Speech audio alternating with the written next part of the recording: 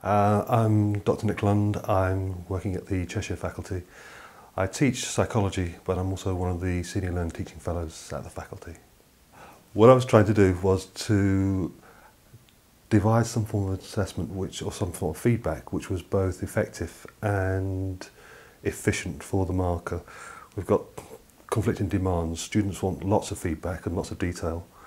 Staff have lots of students to give feedback to.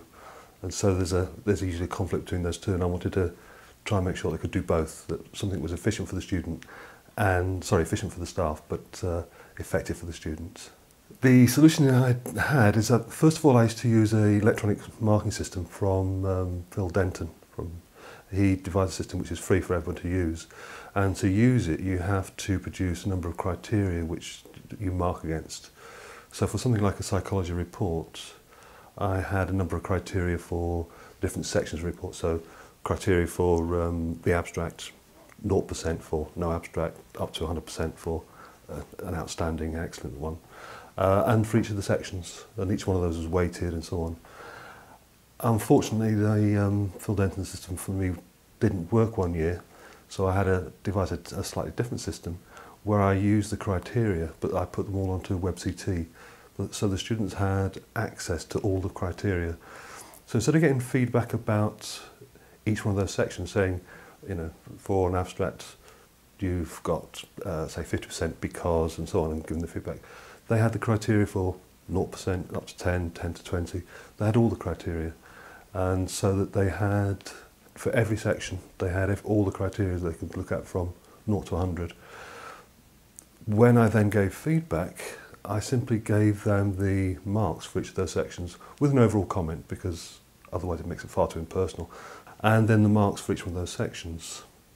And the students then took that mark and went to the um, WebCT file and look to see where their marks fit. So if there was 6%, they'd have a description of what, what 6% represented.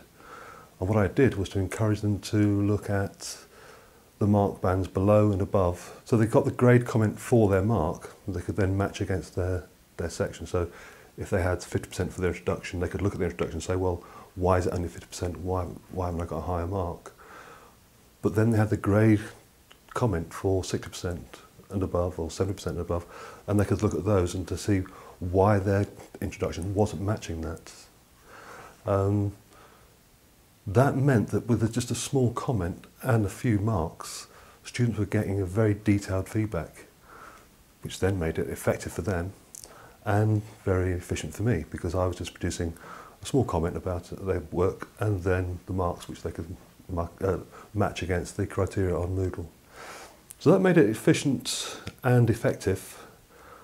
I also tried out a third E, I don't know whether there's a theme coming out here, which to make it engaging uh, and to make sure the students engage with it, I asked them to not only look at the marks and look at the grade description, but to challenge it.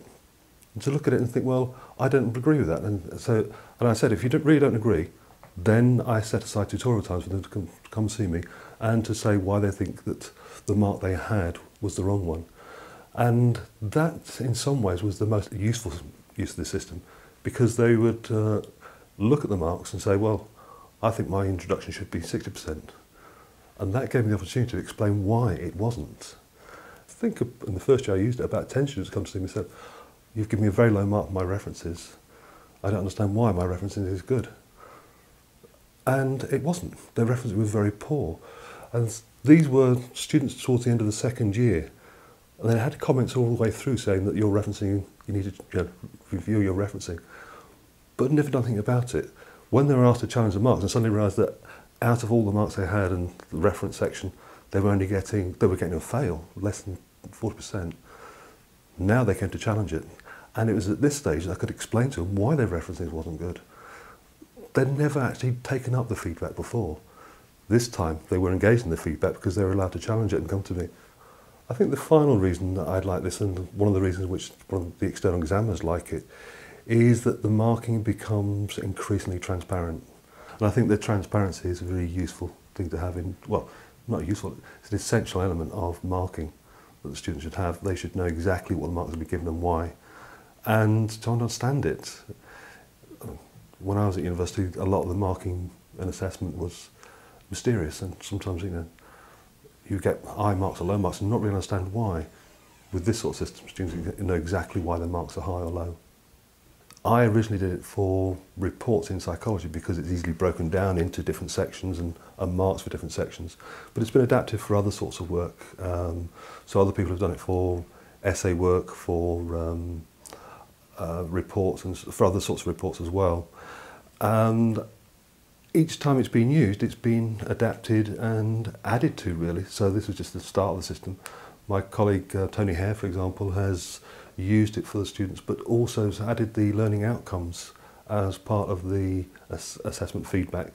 So it's an, an evolving system, I think, which is being used according to the needs of each assessment. You can find more Good Practice Exchange films and resources on our website. Visit celt.mmu.ac.uk forward slash good underscore practice. Thanks for watching.